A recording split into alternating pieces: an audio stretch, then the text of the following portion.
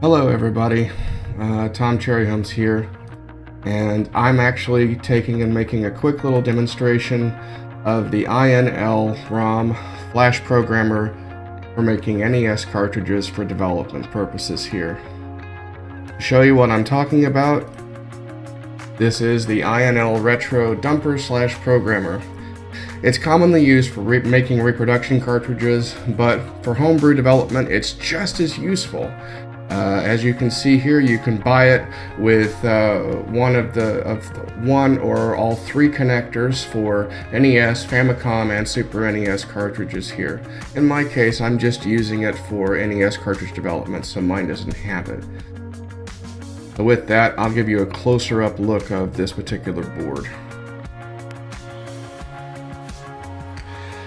Hello everybody, uh, just wanted to... Whoops. Apologize. Let's try that again. This is the INL ROM Flash Programmer. Uh, it is a clone of the popular Kazzo programmer for NES, SNES, and Famicom cartridges. This particular unit only has the NES connector installed, as that's the only thing I intend to actually do flash development on. And um, as you can see here, it's built around an Atmel Atmega microcontroller and some additional logic over here on the left hand side. The Atmel has facilities for programming flash devices as well, which is exactly what I'm using it here for. There is a button right here to reset the programmer in the effect, uh, in the event that uh, the programmer goes dead or locks up for some reason. I've already had that happen once uh, since I got this thing. It's no big deal. You just push the reset and use the programming software again to do your work. It plugs in via USB to any free USB port. The only issue that I had was, of course, that I needed to basically uh, I needed to install libUSB and the drivers for that, for all of that. Infinite Lives provides a driver package that you can use to install all the needed software that you need to run. Please follow the instructions in this README that is provided by the driver package. That will save you hours and hours and hours of pain and get you up and running as quickly as possible. If you follow everything in the README, you will be up and running with this particular Flash programmer in about 10 minutes.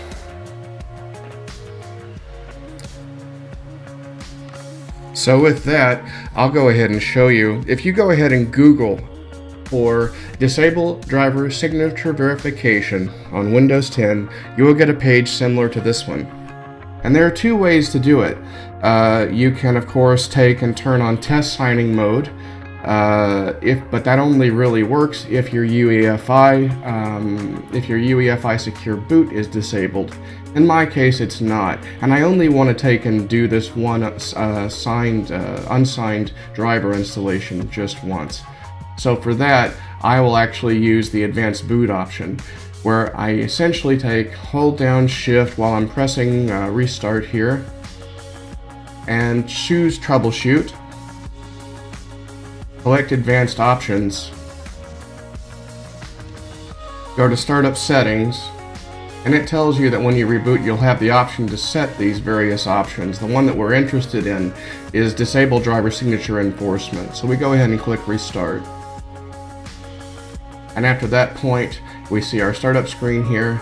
You press 7 to disable driver signature enforcement, and for that boot only, it will do this, which is just enough for us to be able to go into the Kazzo Utilities folder.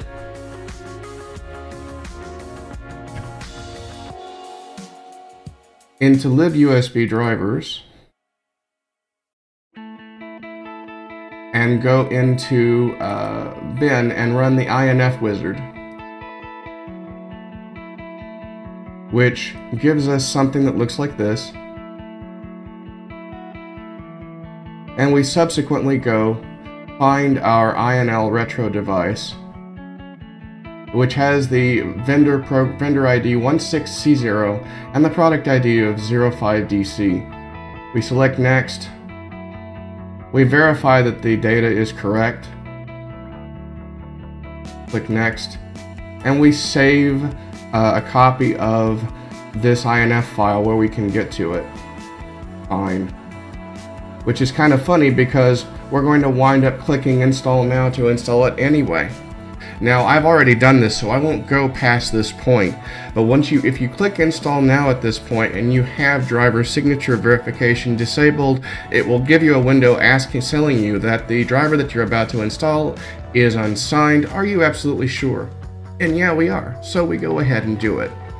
Once that's done you should be able take and go into the uh, into the INL ROM programmer program and test the device. But we'll do that in just a minute. First, we actually have to show you the flash ROM board and assemble the cartridge.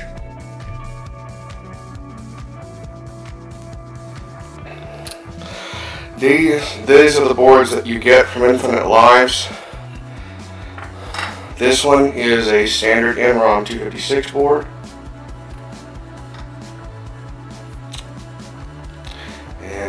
Actually, I'm going to try, let's focus that up a bit more. Okay. So this is a standard NROM 256 board from Infinite Lives. Back.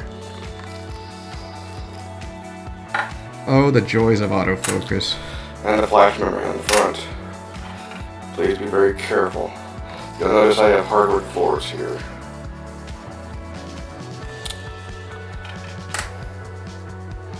Now assembling this into cartridge case is fairly straightforward. We have the front side of the cartridge case here.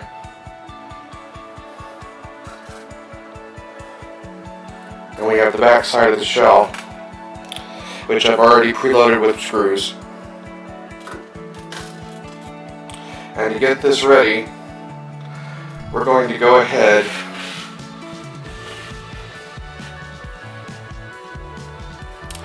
and put this in.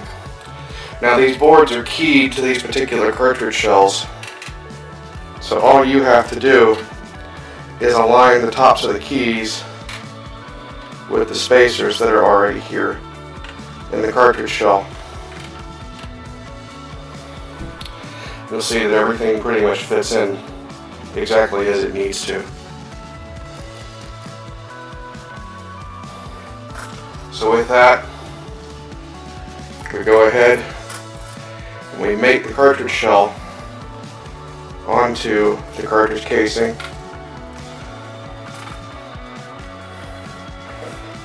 Make sure that everything's aligned. It'll fall right into place.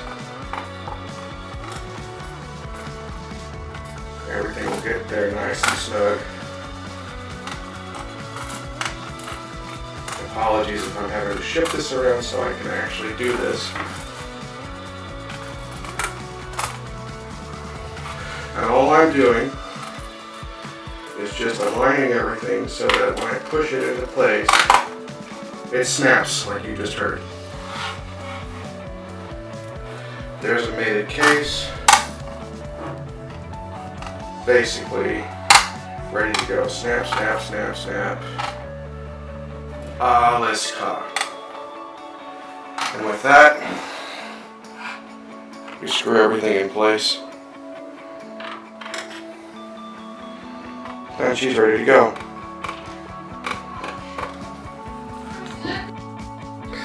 So now that we have the cartridge, now that we have everything ready, we can go ahead and insert the cartridge into the programmer and start to program it.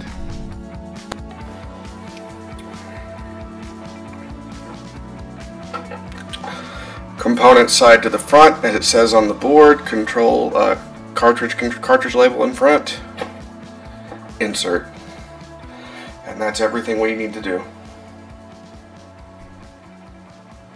So now that we have the cartridge inserted, we have the flash programmer configured, everything's ready to go, now we can actually run the particular software. And in the Kazzo, dem, uh, in the Kazzo distribution, this is sitting inside the INL RetroProg software folder as INL RetroProg. Now I already have it running here, and we'll actually start the process. Now the first thing that we actually have to do is we need to erase the flash program, the anything that's on this flash chip to get it ready for use. And for that, we need to reprogram the header EEPROM that's present on this flash cartridge. So to do that, all we have to do is go into the uh, distribution again, and there's a folder called ROMs. Inside here, there are erase ROMs for every type that the programmer can deal with. The one that we're interested in is erase PRG CHR, which basically erases the headers for both the program and chirp rings. So with that, we select, make sure header selected absolutely for sure. Let's go ahead and test the device to make sure that the programmer is working correctly. Okay, it is, great. We then take and write the result. Write and verify. Since this is just reprogramming the EEPROM and there's very little data resulting from that, it's very quick. So after we've done this, we then go and we prepare our ROMs for uh, for flashing. Now, my game here, which I'm actually working on right now, is Wizard of War, and I've got it sitting in my development folder. We go to it into NesDev here, which I have all my development stuff. And right now, it's an NES file, which if we start it, it runs just fine in the emulator as it is. Now this is an NES file which has the PRG and CHR chips combined as well as a header uh, describing the particular format of the cartridge. And in fact, if we actually look at the information for uh, this image, you can see the header information already here. It's an NROM 256, which is uh, split into 32K of PRG ROM, 8K of CHR ROM and we're set with vertical mirroring, it really doesn't matter. I'm not using scrolling anyway. So, okay, no problem. We know this works, great. But we can't put, uh, we can't put this uh, directly on the flash card as it is. We have to actually split it up. So to do that, we need to use a particular program called Famirom to do that. Great. Load Famirom and we see this awesome little shaped window here that looks like a classic Famicom. We load the ROM, which is the NES file with header. And we see here that it has decoded the header and automatically selected for us the appropriate size chips to take and split this data into. Since this is an NROM 256, that means 256 kilobits of uh, ROM space. This is implemented as a 32K uh, 27C 256 EEPROM and a 2764 8K CHR ROM, 40K total space. So we go ahead, we split the data. Now the thing about this particular program is that it does not tell you that it has done this. So it took me a few minutes to figure out what had actually happened or if it, in fact anything had happened at all we go ahead and quit and go back to my development folder here. And we see that two files have been created. Um, one for the PRG bank, one for the CHR bank in the appropriate sizes. Excellent. So now we can then launch the INL ROM programmer select the appropriate size data, and we have to write each bank separately onto this flash cartridge. Okay, that's fine. So to do that, go into my development folder, select the PRG, 32 KB PRG.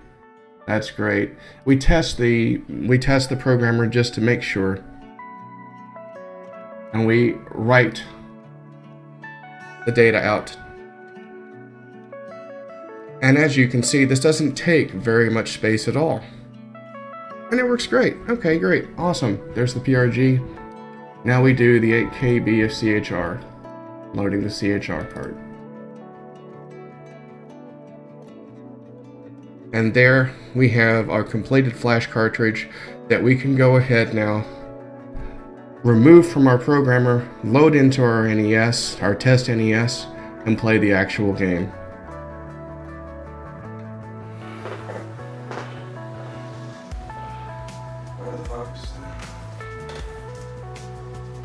And that's why you need to have everything prepared ahead of time.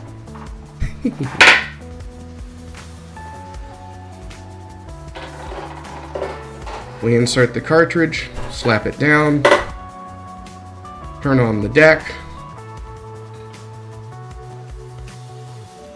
and there's our game.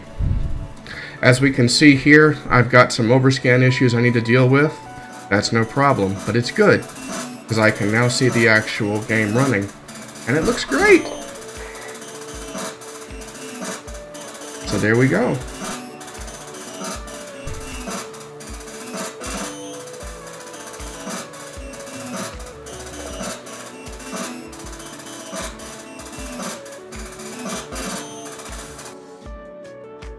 So with that, that is a complete workflow on how to uh, do a test run of a particular cartridge to see if it works in a real unit. Going from the from the C compiler into the emulator into FamiROM to split the ROMs into their split ROM types, and then finally to use INL RetroProg to write out uh, the different ROM banks to the flash cartridge and putting the result inside the NES for testing. If you guys have any questions, you can feel free to take and put them down in the comments section. But I hope this was as uh, was informative and hope that this will allow any interested developers to take and get up to speed quicker, even quicker than I did. So until next time guys, have fun.